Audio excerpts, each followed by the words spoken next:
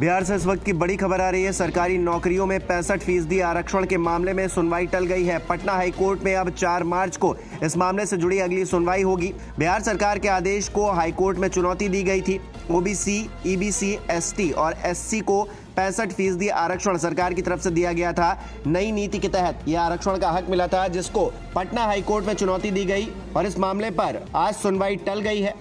इस वक्त की बड़ी खबर, बिहार की नीतीश कुमार सरकार द्वारा सरकारी नौकरियों में ओबीसी ईबीसी एसटी एससी वर्गों को पैंसठ फ़ीसदी आरक्षण दिए जाने के आदेश को चुनौती देने वाली याचिका की सुनवाई पटना हाईकोर्ट में टल गई है। अब इस मामले पर चार मार्च को दोबारा सुनवाई की जाएगी।